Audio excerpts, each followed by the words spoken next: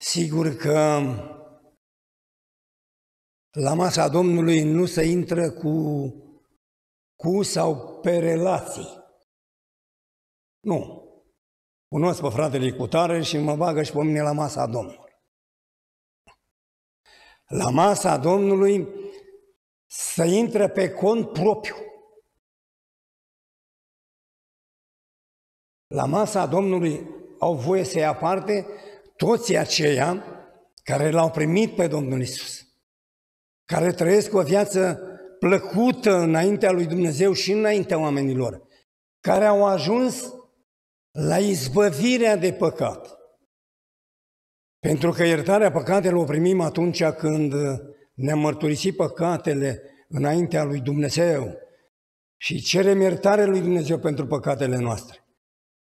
Și spunem Domnului, Doamne Iisuse, intră în viața mea, intră în inima mea și fă tu curat. Atunci am primit iertarea păcatelor.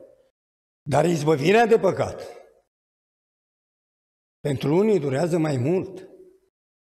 Că o viață trăită în păcat, gura învățată, să mai blesteme, să mai zică, să mai...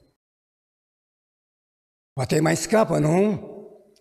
Dar când a venit izbăvirea de păcat, atunci vin și eu înaintea fraților și spun, frate, să mântui prin jertfa Domnului Isus. Domnul mi-a dat izbăvirea de păcat, frate.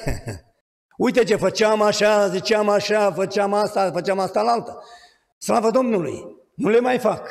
Am primit izbăvirea de păcat. Deci, la masa Domnului toți aceia care îl așteaptă pe Domnul Isus.